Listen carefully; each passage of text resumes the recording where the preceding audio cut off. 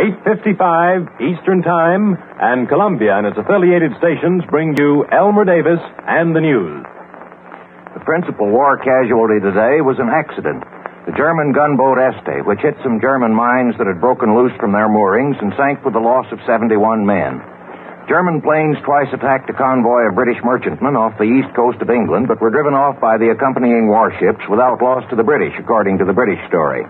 From the Western Front, we hear of nothing but rain and mud. And there is some evidence that we may not hear a great deal more than that from the land forces this fall. The British War Minister Hore Belisha said today that the Germans might be hoping that they could lure the Allies into a premature offensive. But he added, we will pick our own time for an attack and will not waste our forces. Our correspondent Bill Henry, reporting from Paris tonight after a stay at the front, quoted British and French officers as saying the same thing. Mr. Belisha speculated on the possibility that the Germans themselves might begin a great land offensive before the weather gets too bad, but most of the talk we've heard about this great German offensive comes from London and Paris. The difficulties of such an attack on a strongly fortified line and the enormous losses it would entail are certainly as obvious to the German as to the French general staff. The British War Minister spoke of a third course which the Germans might adopt, an endeavor to entice the Allies into the discussion of what he calls specious peace terms. Well, of course, in the last two or three de- two or three weeks, there's been a good deal of talk coming out of Berlin, never official, never specific, about mediation by America or Italy or the Scandinavian states. But nobody else took it seriously.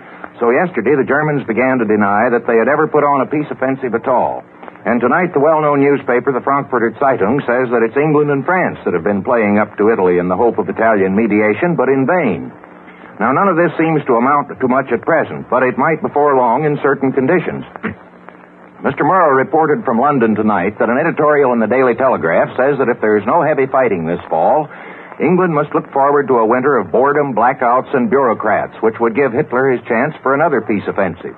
This would be a continuation of the war of nerves, with every nation waiting to see if the enemy would crack up first under the strain of waiting for something to happen. But all this is a maybe. The only actual diplomatic news today is the statement of the official Russian newspaper Izvestia that it would be impossible for Turkey and Russia to make an agreement which would be compatible with the treaty Turkey has just signed with England and France. Of course, the Turks specified in that treaty that they couldn't be asked to go to war with Russia. But the Izvestia article, if it was anything more than an attempt to reassure the Germans, may possibly forecast a cooling of the friendship that has long existed between Turkey and Russia. The German ambassador to Italy and the Italian foreign minister today signed an agreement for the resumption of the moving out of the German population from South Tyrol. If they bring them all back, there will be 200,000 more Germans to be planted in the provinces taken from Poland or in Bohemia, and that many more Poles and Czechs to be thrown out. A report from Vienna tonight said that 2,000 Austrian Jews had been sent off to a reservation in the central part of Poland. The part that wasn't mentioned the other day when Germany annexed the western provinces. The part that is presumably to be set up as a nominally independent Polish state. This residue Poland is also to be used as the dumping ground for Poles thrown out of Posen and the corridor to make room for the Baltic Germans. And of course, these Poles, like the Austrian Jews, must leave practically all their property behind them. What they are to live on in their new homes has not been explained. Apparently, the Germans are going to make the new Poland the poorhouse of all Eastern Europe.